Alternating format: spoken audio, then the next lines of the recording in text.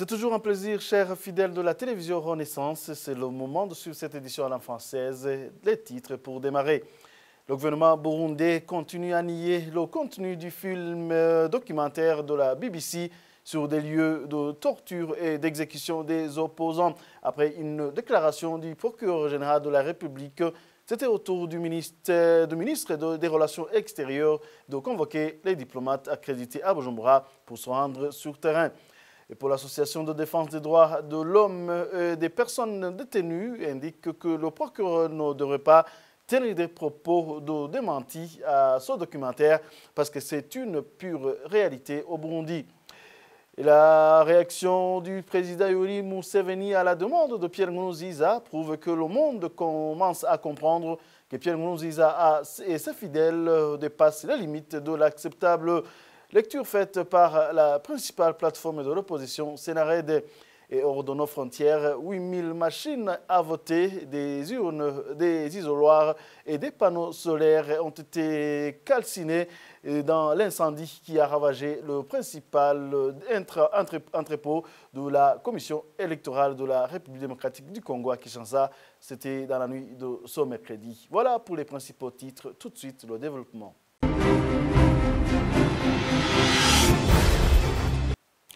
Encore une fois, je vous souhaite la bienvenue. Le gouvernement va plus loin pour nier le contenu du film documentaire de la BBC sur les lieux de torture et d'exécution des opposants.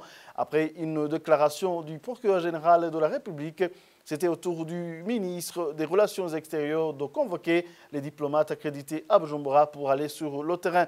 Ils se sont rendus ce jeudi, entre autres à Kinindo, euh, quartier au sud de la capitale, où la BBC a identifié une maison dans laquelle, euh, de laquelle plutôt a coulé du sang probablement de personnes exécutées à l'intérieur de cette maison. Le gouvernement a présenté un homme musulman voisin de la maison qui a affirmé à la presse et aux diplomates présents que le sang en question émané de chèvres qu'il avait égorgées ce jour-là. Suivez-le.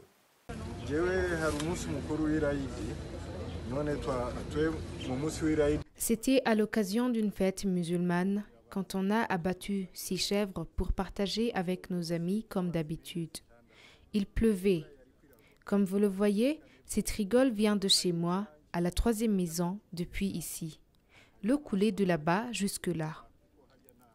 Après avoir abattu ces chèvres, leur sang mélangé de l'eau de la pluie a coulé dans cette rigole.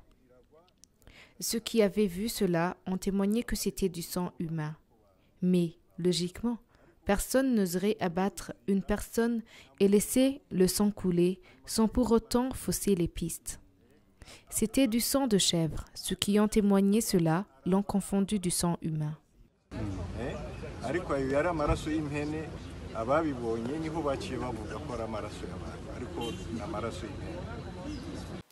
Et par rapport au cachot clandestin au Burundi où on emprisonne et tue des personnes, surtout des opposants, comme cela est contenu dans le film documentaire de la BBC, Pierre Kaver Mbonima, président de l'Association de défense des droits de l'homme et des personnes détenues, indique que le procureur ne devrait pas tenir euh, des propos de démenti à ce documentaire parce que c'est une pure réalité au Burundi.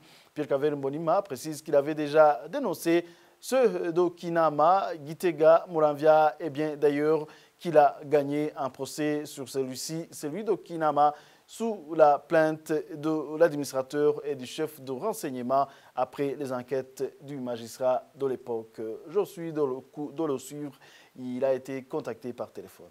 J'ai répondu que moi-même, que j'avais constaté ça à Kinama, que j'avais constaté ça dans plusieurs quartiers, et même le parquet de notre cour d'appel m'a convoqué pour m'interroger, même l'administrateur communal de Kinama porté plainte contre moi, et même le chef de la documentation à Kinama porté plainte contre moi, mais heureusement, j'ai gagné le procès, le magistrat a vu que c'était une réalité. Est-ce que égorger, égorger une chèvre, même deux chèvres, c'est c'est-à-dire que le sang va couler dans le ruisseau. Et vraiment, même si vous faites une analyse, même un enfant de 13 ans ne pourra pas confirmer ça. Alors, bon, c'est bon, qui nous montre ce musulman qui a, qui faisait ça. Et on lui demande réellement si tout ce sang était pour ces animaux. Mais pour moi, je ne pense pas. Et vous savez, c'était en pleine crise. Et aussi, c'était une maison qui était gardée par des policiers avec les agents de service national de renseignement. Et moi, je pense que même si je n'étais pas là, je pense que ces gens qui étaient maltraités dans cet endroit existaient. Et donc, pour laquelle c'est difficile que le gouvernement, le procureur général accepte que ce phénomène existait à ce moment. Après deux ans, après trois ans, qu'est-ce qu'ils peuvent constater Même si vous invitez quelqu'un pour venir faire le constat, c'est-à-dire que vous allez commencer à balayer, que vous allez même mettre de la peinture. Même à notre époque, quand on visitait les lieux de détention, on n'avertissait pas les deux pour laquelle on constatait beaucoup d'anomalies. Sinon, si vous avertissez, ils vont tout faire pour vous montrer réellement qu'il n'y a rien. Alors ça, c'est pour c'est la dissuasion que le procureur général veut, montrer aux ambassadeurs que rien n'a été après deux ans ou trois ans. Mais ce n'est pas la première fois qu'on disait de ces choses qui sont passées à Kimino. Ça fait deux ans. Pourquoi il ne l'a fait, pas fait avant, avant que la BBC sorte ce documentaire Politique à présent, après la lettre du président Yoli Mousseveni à la demande de Pierre Nkurunziza, plusieurs réactions commencent à tomber. La dernière date est de la principale plateforme de l'opposition Sénared, Onésime Nduimana, son porte-parole, fait savoir que la réaction de Mousseveni prouve que le monde commence à comprendre que Pierre Nkurunziza et ses fidèles dépassent les limites de l'acceptable. Onésime Nduimana demande au chef d'État de la région de le faire comprendre par tous les moyens à privilégier la paix à la guerre. Suivez-le, il a été joint également par téléphone. Le fait que le président Museveni de l'Ouganda ait pris tout son temps pour répondre à Nkurunziza de cette façon, comme s'il voulait lui faire une leçon ou lui rappeler l'histoire du Burundi en général et sa propre histoire et celle de son parti, le CNDD-FTD en particulier, prouve que le monde commence à comprendre que Nkurunziza et sa clique dépasse de plus en plus les limites de l'acceptable. Le président Museveni et ses pairs ne devraient pas se limiter par là. Ils doivent plutôt aller pousser plus loin pour imposer des sanctions de manière à obliger M. Pierre Nkurunziza à privilégier la paix à la guerre. Ceci, c'est par exemple le voter un embargo sur les produits de luxe et les armes, empêcher Nkurunziza et ses coéquipiers de bénéficier de leur droit de mouvement dans la sous-région et bien même aller jusqu'à saisir leurs biens dans la sous-région qui d'ailleurs souvent sont des biens mal acquis.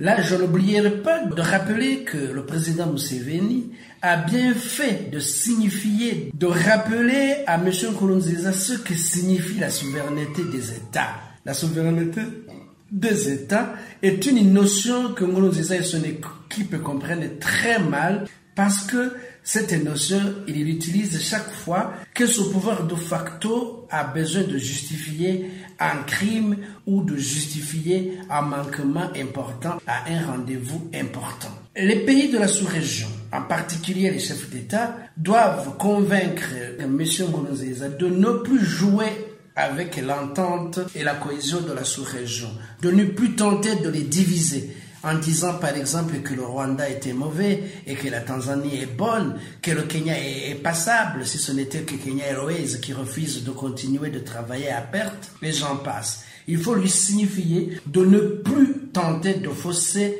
de jouer à ce jeu et de tenter de fausser le quorum de délibération des sommets de l'EAC au détriment des intérêts de plus de 100 millions de vies qui peuplent notre sous-région.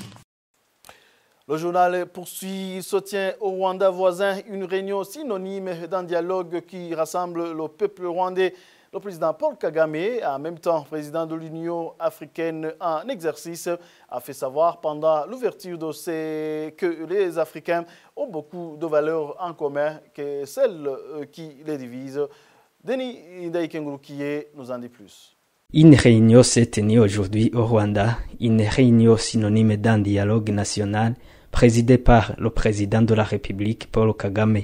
Ce dialogue rassemble tout le peuple rwandais pour échanger sur l'état d'avancement du progrès national et les perspectives d'avenir. Ce dialogue qui va durer des jours a y participé plus de 2000 Rwandais, y compris la diaspora. Le président de la République, au moment de l'ouverture, il a fait savoir que le Rwanda a réalisé pas mal de choses, mais précise également qu'il y en a d'autres choses à réaliser pour arriver à un développement durable.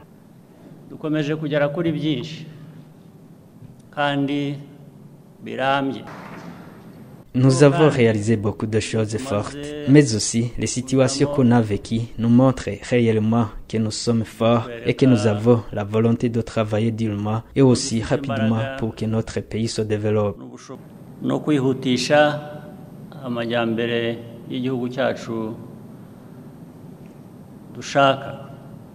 Le président Kagame et président de l'Union africaine en exercice n'a pas tardé à revenir sur le commerce et les relations qui nouent les pays membres afin de les consolider. imikoranire myiza y'ibihugu mu karere Bonne relation entre les pays et dans toute la région. Bonne cohabitation. Je dis le commerce, visite. Nous devons tous les rendre possibles. Les Africains sont les mêmes. Nous avons beaucoup de choses qui nous mettent ensemble que des choses qui nous divisent.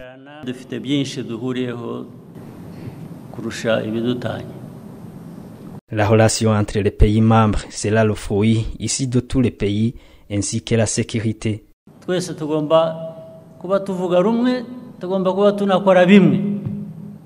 Ensemble, nous devons s'unir pour un même but. Pendant le commerce et les relations, on échange des biens et vice-versa. En toute chose vient d'abord la sécurité et les primes surtout. On ne peut pas perturber la sécurité de l'un ou l'autre en utilisant la souveraineté de ton pays pour déstabiliser les autres. Ce n'est pas la bonne relation.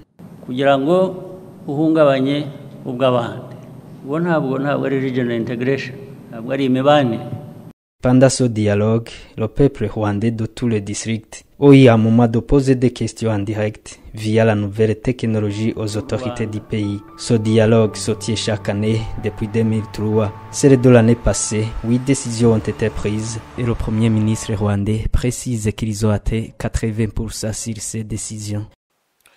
Merci à Denis Ndaïkenguru qui est toujours hors de nos frontières. 8000 machines à voter, des urnes, des isoloirs, des panneaux solaires ont été calcinés dans l'incendie qui a ravagé le principal entrepôt de la commission électorale de la République démocratique du Congo à Kinshasa dans la nuit de ce mercredi. Cet incendie survit à 10 jours du scrutin. Le point avec Thierry Wiglindavi. Le président de la CENI, Corneille Nanga, a confirmé au cours d'une conférence de presse l'incendie du principal entrepôt de la CENI dans la ville de Kinshasa. Dans cet entrepôt, il y avait le matériel électoral composé des urnes, des isoloirs, des batteries, des panneaux solaires et surtout les machines à voter retenues par la CENI comme moyen de vote mais rejetées par l'opposition, surtout la coalition Lamouka, pilotée par le candidat Martin Fayoulou. L'entrepôt était situé sur l'avenue du Haut Commandement, dans la commune de Gombe, une des parties de la capitale censées être les mieux sécurisées. Le feu a simultanément pris départ dans deux endroits, ce qui fait penser à un incendie criminel. La campagne en cours en République démocratique du Congo a été émaillée de quelques échauffourées ces derniers jours. Les rassemblements des partisans de Martin Fayoulou ont été violemment perturbés par la police et les militants de la majorité présidentielle à Kindu, Lubumbashi et Kalemi. Ce mercredi, au moins trois personnes ont été tuées et plusieurs autres ont été blessées lors des scènes de violence survenues à Kalemi lors de la visite de Martin Fayoulou au chef-lieu de la province de Tanganyika. Mardi, à Lubumbashi, deux autres partisans de la même coalition avaient été tués dans des heures entre la police et les partisans de l'Amka. Dimanche, Martin Fayoulou n'a pas pu se rendre à Kindu, au nord-est, en raison de l'affrontement entre ses partisans et les personnes qui se réclament de la majorité présidentielle. Dans dix jours seulement, soit le 23 décembre prochain, les Congolais se rendront au bureau de vote pour élire le successeur du président Joseph Kabila Kabange, qui préside les destinées de la République démocratique du Congo depuis l'assassinat de son père, Laurent Désiré Kabila, le 16 janvier 2001.